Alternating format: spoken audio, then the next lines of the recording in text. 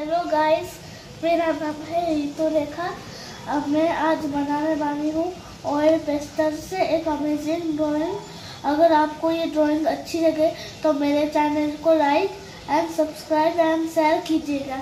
तो चलो बनाते हैं।